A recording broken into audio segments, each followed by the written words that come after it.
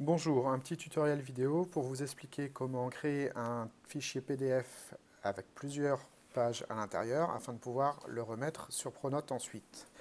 Alors, moi je vais utiliser une petite application qui s'appelle GenusScan qui est disponible sur Android, donc tous les téléphones type Samsung, et aussi sur iOS, tous les téléphones euh, type euh, Apple.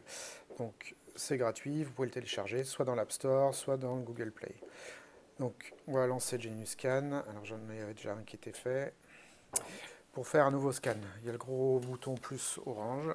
Je clique dessus et donc il va demander la première fois d'utiliser mon appareil photo. Il faut lui laisser l'autorisation. Vous voyez là, il est en train de prendre une photo. C'est la première page. J'attends un petit peu. Et là, je vais prendre ma deuxième page. Quand c'est fini, OK. Donc on voit ce qu'il m'a fait. J'ai bien mes deux pages qui sont là.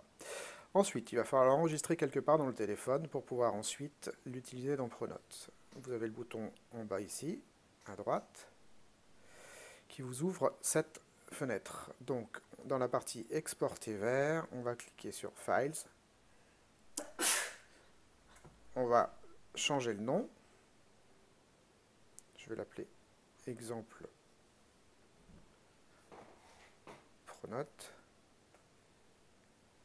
Voilà, ok. Et donc je vais lui dire de le mettre sur mon iPhone. Alors vous pouvez avoir différentes, euh, différents comment, dossiers en bas ici, mais euh, vous cliquez juste sur mon iPhone et vous faites enregistrer. Voilà, on a fini la partie dans l'application de scan. On va pouvoir revenir à Pronote. Pour mon élève de test en quatrième.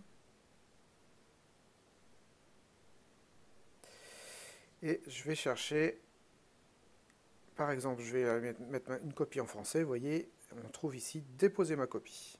Donc je vais cliquer sur déposer ma copie. Je vais aller dans parcourir. Et je vais chercher dans mes boutons explorer, je vais chercher mon iPhone et je vais retrouver le document que j'avais choisi. Donc là, il est en train d'envoyer on voit que c'est envoyé puisqu'il y a le bouton fait ici. Voilà, c'est fini.